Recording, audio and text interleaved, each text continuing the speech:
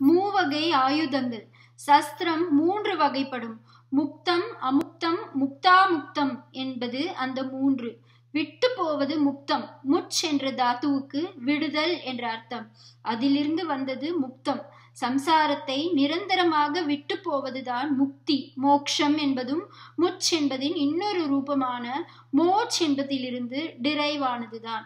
விடுதல் என்பதை சொல்வதாலேயே விடுதலை வீடு என்ற பெயர்கள் தமிழில் முக்தியை சொல்கின்றன. சிப்பியிலிருந்து தெரித்து விடுபடுவதாலேயே முக்தம் என்று நவமணிகளில் ஒன்றுக்கு பெயர் முத்து என்கிறோம். முக்தியை தமிழ் நூல்களில் முத்தி என்றே சொல்லியிருக்கும். ஆயுதங்களில் கையை விட்டு போகிறவை அதாவது கையிலிருந்து எரிகிறவை முக்தம்.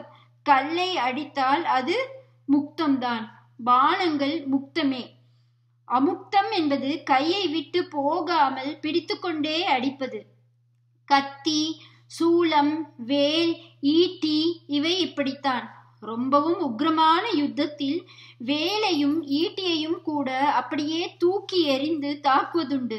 தனுர்பானங்களில் தனுஷ் எப்போதும் அமுக்தமாகவே இருந்து கொண்டு பானங்கள் முக்தமாய் இருக்கின்றன பாசம் முதலிய ஆயுதங்கள் உண்டு.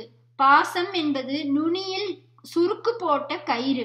அம்பாள் விக்கிரகங்களிலெல்லாம் பாசம் அங்குசம் என்பதில் இது இடது மேல் கையில் இருக்கும் பிள்ளையாரின் மேல் பக்க இடக்கையிலும் இருக்கும். இதிலே ஒரு நுனியை கையிலே அழுத்தமாக வைத்துக்கொண்டே இன்னொரு நுனியை ரொம்ப தூரத்துக்கு முக்தமாக சத்ருவின் குரல் வலையில் சுருக்கு போட்டு இழுத்து வர முடியும். இது முக்தா முக்தம் சில சக்கரங்கள் பண்ணப்பட்டிருக்கும் டெக்னிக்கலாலும் அவற்றை ஒருத்தன் எய்கிற சாமர்த்தியத்தாலும் சத்ருவை அட்டாக் பண்ணிவிட்டு போன டைரக்ஷனிலேயே திரும்பி எய்தவனின் கைக்கே திரும்பி வந்துவிடும். இதுவும் முக்தாமுக்தம்தான். முதலில் விட்டு விட்டான் ஆனால் அப்புறம் கைக்கு வந்து விடுகிறது. பூமரேங் என்ற ஆயுதம் இப்படித்தான். குறியை அடித்த பின் விட்ட இடத்துக்கே திரும்பிவிடும் என்கிறார்கள். மகா மந்திரங்களை எந்த பானத்தில் வேண்டுமானாலும் சேர்த்து அஸ்திரமாக்குவது என்றில்லாமல் அதற்கென்றே ஒரு பானத்தை அஸ்திரமாக அந்த மந்திர தேவதையிடமே பெற்ற புராண புருஷர்கள் உண்டு. இவர்கள் இப்படிப்பட்ட திவ்யாஸ்திரத்தை பிரயோகம் பண்ணும்போது அது லட்சியத்தை அடைந்து அடித்த பிறகு திரும்பவும் தங்கள் கைக்கே திரும்பி வருவதற்கும் மந்திர உச்சாரணம் பண்ணி வரவழைத்து கொண்டு விடுவார்கள். இல்லாவிட்டால் இன்னொரு தரம் அந்த அஸ்திரத்தை பிரயோகம் பண்ணுவதற்கு இடமில்லாமல் போய்விடும் அல்லவா?